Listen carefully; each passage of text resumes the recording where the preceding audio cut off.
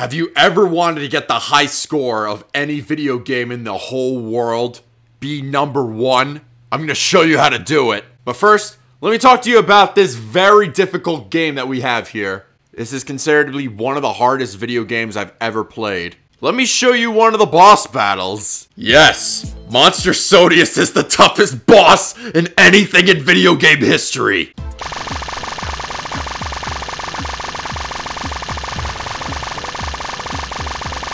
Wasn't that so tough?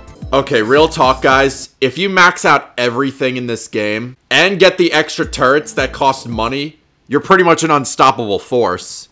If you just hold down the spacebar, you can't lose. Everything in your path just dies. Oh my god. But Apple, you may ask, how is this fair? Well, here's the thing. It's not. You just hold the spacebar down and let everybody do the rest. But I'm not done there. Turns out that there's a final boss in this game. There's only two bosses. I don't know why there's only two, but there just is. But the final boss is one of the most trippiest things I've ever seen in a video game. You fight a cheeseburger. The most American final boss I've ever seen in my whole life. Oh my god. I'm shooting a burger in space with ketchup and mustard. And the cheeseburger sounds like it's a rapid fire machine gun. I love how the lasers just shoot beyond the ketchup and mustard, by the way. Alright, I got this. I got this.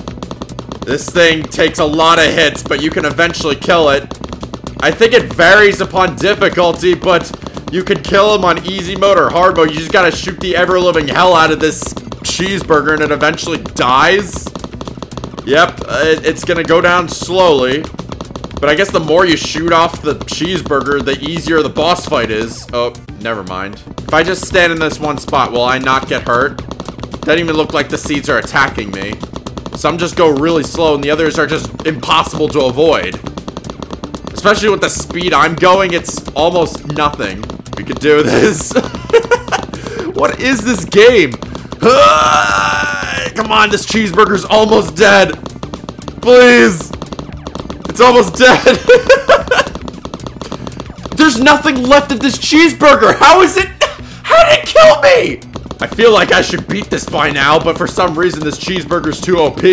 The seeds, you can't even see them because like the stars are in the background. How can they be any different? I mean, it kind of would be a little bit easier to see the seeds if they were yellow or something like that. But why are they the same color as the stars? I love those explosion sound effects too. Makes me think of Star Wars. Oh, come on. Let's see the Mandalorian ship take on a fucking cheeseburger. I'd like to see that in Mandalorian Season 3. Come on. This thing is almost dead. Oh my god! Why is this so hard now? I've done this so many times. Just die. I to shoot the craters of it, so I have to, like, you know, dodge the seeds out of the way. I'll know where they're coming from. As far as I'm concerned, the thing is just gonna keep on spinning around and throwing seeds. Like, what kind of a boss is this? Oh my god. Come on, it has to die now. I've shot it so many times. I have to shoot to the bottom core of this thing like the Death Star? Holy shit. Oh my god. Oh my god, just die. Please. You're so close to death. I can see the, the... I'm almost like shot through the whole thing. Now it's blowing up.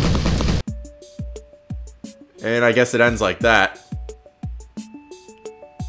Yeah, I'm not too sure why I was fighting a cheeseburger. What was the point of that boss? Hey, that guy's a not... That guy's not a bad looking dude. Who is this? Uh, your question is as good as mine. Do you want to see how I got the high score in this game? You probably don't, but I will show you anyway. Step 1. Choose Endless Mode. That's the black hole. Step 2. Go to the right or go to the left. Step 3. Hold down the spacebar and you'll eventually get to the high score. If a projectile falls on you, you can you just shoot it with your ketchup or mustard, so technically nothing will kill you. You guys want to know a shortcut to this game? How to beat the high score? I'll show you. Here's what you do next. You place a heavy object, and it will keep shooting. Just keep it on your spacebar and you can't lose.